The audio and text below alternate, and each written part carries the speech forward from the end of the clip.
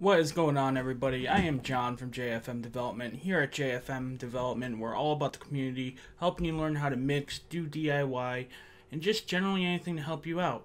Now, if you're new to DIY, make sure you check out the JFM Development Just Friggin' Mix group. It's a group on Facebook that has a collective of mixers just like yourself who can help you learn how to get started in DIY and get you uh, through your first steps in case these videos aren't giving you everything you need.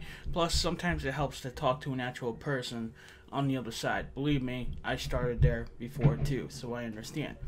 But today is a very exciting day you know, Liquid Barn sent me another new flavor to try and to sample and to give my feedback on. So they sent me the Tastemakers kit uh, from Liquid Barn. They sent me the Pina Colada flavor.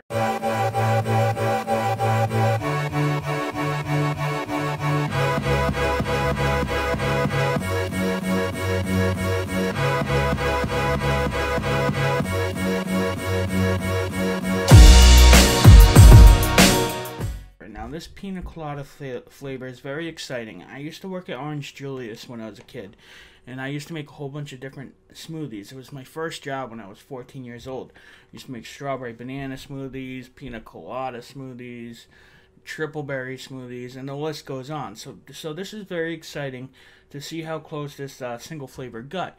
Now, uh, this channel is not new to the Tastemakers kit. I'm going to link in the description in the video and possibly in a card video to my original video on the Tastemakers kit. Basically, the Tastemakers kit, it comes with a 60 ml bottle of flavoring. It comes with the Tastemakers card so you can properly measure it. You know, it gives you the proper percentage you need. Basically, you line up your unicorn bottle right here, you put it up to the card, and it has like a list of all the uh, different measurements to put in there. And you fill the bottle up then you fill it up with your PGVG nic base or you could just use it as uh, flavoring itself and add more flavorings in. It's really as far as you want to take it and that's the beautiful thing about it. But without further ado let's get started into this and let's try ourselves some island paradise pina colada. And yes they gave an umbrella with it which is pretty rad pretty rad so basically, guys, I did steep this uh, pina colada for about a week and a half, about almost two, probably like two weeks now. So this has been steeping. There's no nicotine in it. It's just literally uh, PG, VG, and the recommended percentage of 16% uh, pina colada flavoring. Now, on Liquid Barn's website, Liquid Barn says they have the pina colada for 15 mil. You can get it for 275 for a 60 mil, you can get it for 8.99. For a flavor cartridge, which is what I have here, which comes with the unicorn bottle, the Tastemaker's card, label, and a 60 ml flavor, and costs 9.99. So pretty much, that's a good deal. You get you get a, a free bottle with it, if, even if you don't want to use it like a Tastemaker's and you want to just add flavors to it separately. So so that's a good deal. Now here's the flavor description Liquid Barn's giving us. They're giving us it's a tropical blend of pineapple and coconut cream, made for relaxing on a uh, sunny island shore. Hmm, interesting. So, I have this dripped on my atomizer. Let's try it out. Let's see how it tastes.